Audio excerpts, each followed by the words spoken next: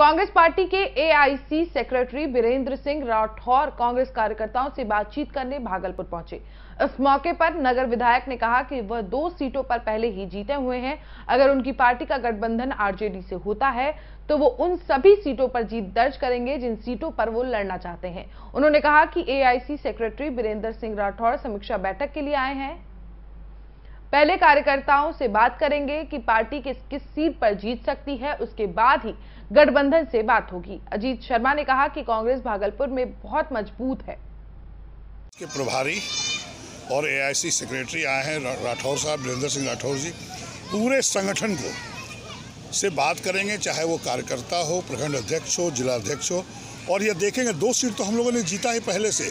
और कितने सीट अब हम जीत सकते हैं अगर गठबंधन होता है राजद से तो हम लोग कितने सीट पर जीतेंगे वो सीटों पर हम चुनाव लड़ना चाहते हैं। वो समीक्षा बैठक के लिए आए हैं या वर्कर्स से बात करेंगे कहाँ कहाँ हम जीत सकते हैं।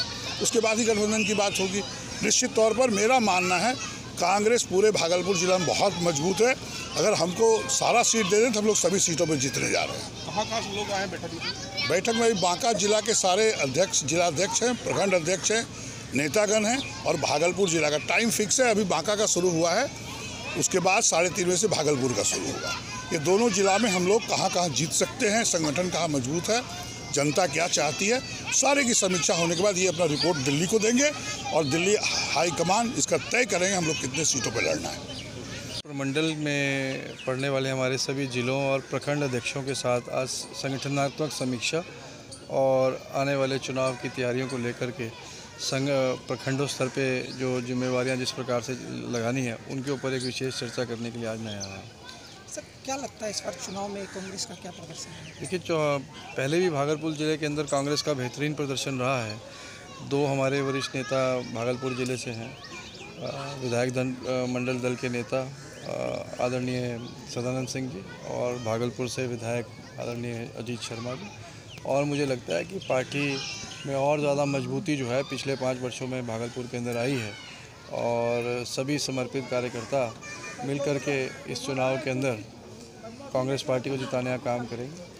बिहार से राजद के साथ कांग्रेस देखिए महागठबंधन है वो तो सब जग ज़ाहिर ही है। और मुझे लगता है कि गठबंधन आने वाले दिनों में और मजबूती के साथ जो है वो बिहार के अंदर चुनाव में उतरेगा और लोगों लोगों के अंदर बदलाव की एक इच्छा है और मुझे लगता है कि बिहार की जनता का जो मैंडेट है वो गठबंधन के साथ है। एनडीए में कल है सर। जी? एनडीए में कल चल रहा है। देखिए वो तो उनका अपने घर का मामला है इस पर मैं क्या कमेंट कर सकता हूँ। थैंक यू सौ फ़ीसदी प्लेसमेंट के साथ हम देंगे आपको मौका। Live 24 media institute. Admission open. Registration के लिए कॉल करें।